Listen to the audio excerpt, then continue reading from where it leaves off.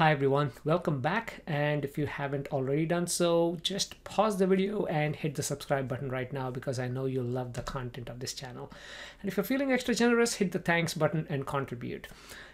In this video, I'm going to talk about how you can easily add borders or generate I call it generating borders. It's basically defining borders around your objects. Why would you like to do that? Because for example if you want to get instance segmentation like results just by using regular U-Net by using semantic segmentation then one trick you can do is to add borders around your objects. And include that as part of your U-Net training, meaning you're converting your binary segmentation in this example into a multi-class segmentation where one of your classes here is your border pixels. And after the segmentation, you can remove the border pixels or you can use these border pixels to initiate a watershed type of segmentation so you can uh, separate these objects.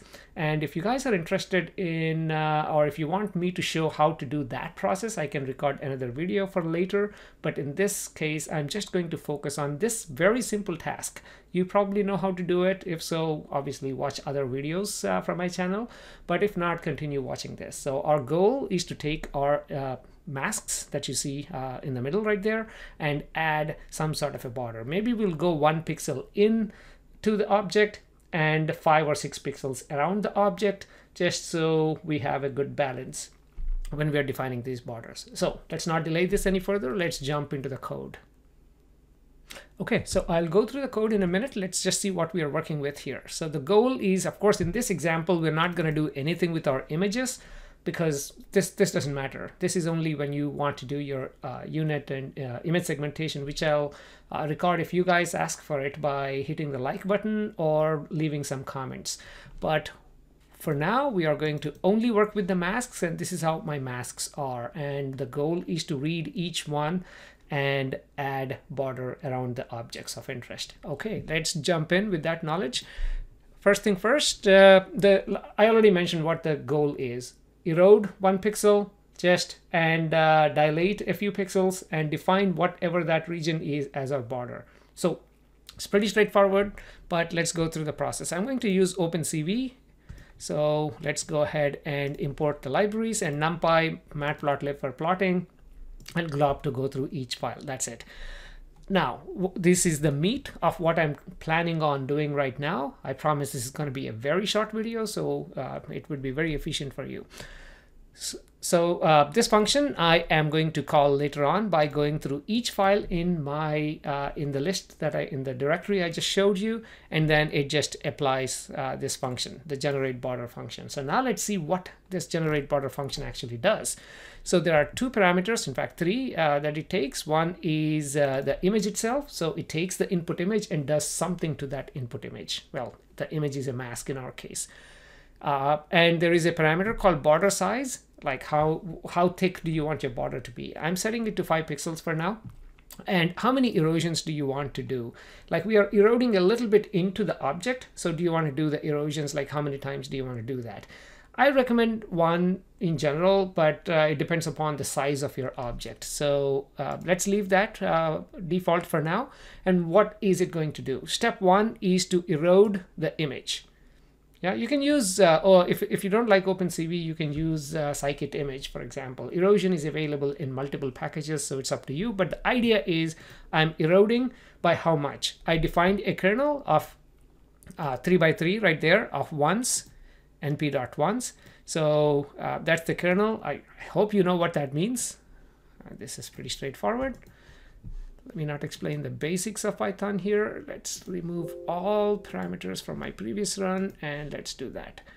So np is not defined. Let's run these one more time. There you go and let us run this specific line so you see what I'm talking about. So this is basically a 3 by 3 kernel of all ones. That's it. And why am I defining that? So I can use that kernel to erode my image. Okay, so this erodes the image. And then the next thing is to dilate the image. How long, by how much do we want to dilate the image? Well, for that, let's use that, uh, let's leave that to the user, meaning the user can define you if you're using it what the border size is if the border size that you define is 5 so our kernel size is 11 2 times the border size plus 1 that's the kernel size that I'm defining right there and plus 1 to keep this odd and not even. And then you have your uh, and then we are defining the dilation kernel just like we defined our erosion kernel. Like np dot ones 3 by 3 here it's np dot ones whatever the size is right there kernel size 11 by 11 and that's it. Now we are dilating our uh, eroded image by that many pixels.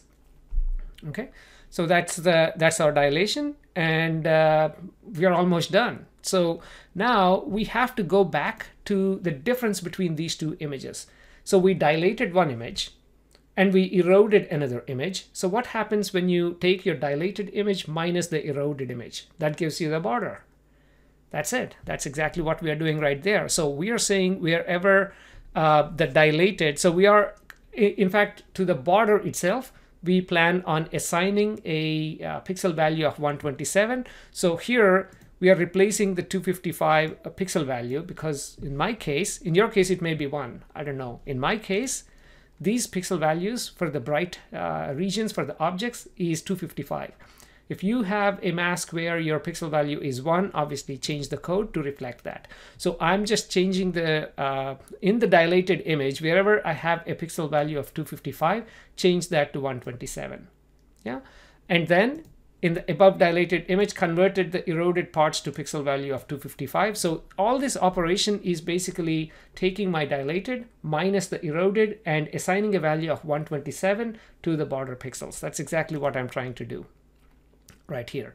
And it returns the original image with the border. That's it.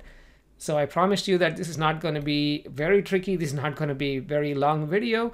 All we're doing is take your object, erode it, keep it on the side Take that object, dilate it, keep it on the side. Now take the dilated minus the eroded and wherever, whatever is remaining, convert that or change the pixel value of that to 127. So now when you export your images, you have an image with a background of pixel value 0, your object with pixel value 255 and border with a pixel value of 127 or whatever you would like to assign to that uh, border. That's it. So that's there. And then uh, I am I already mentioned that here is my here are my all my images or masks in my case. And I'm reading one by one each file in grayscale. And then I'm applying this generate border function or the method that I just defined up there and uh, I'm writing them to my local directory which I just did in fact if you want me to run this. Let's go ahead and run this. I have 1600 images if I'm not wrong. It's pretty fast operation. All we're doing is just erosion and dilation. So it should be pretty quick and I'll show you the result as soon as it is done. So it's almost getting there. 400 as soon as it gets to 900 you should see that but even while it's doing let me go ahead and open it and here is the mask. It's still updating this but you can see this is uh, these are the images that we got. So sorry let me open. Let's do this. Open a new window. Okay there you go. And let's open this so you can see the difference right there. And let us view extra large. View extra large.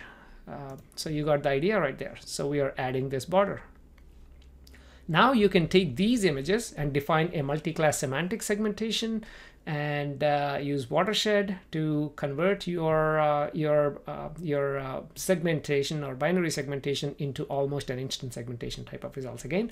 One way you can tell me that uh, you really want me to show you that process is by leaving a comment. And of course please do like this video and do not forget about the thanks. Thank you guys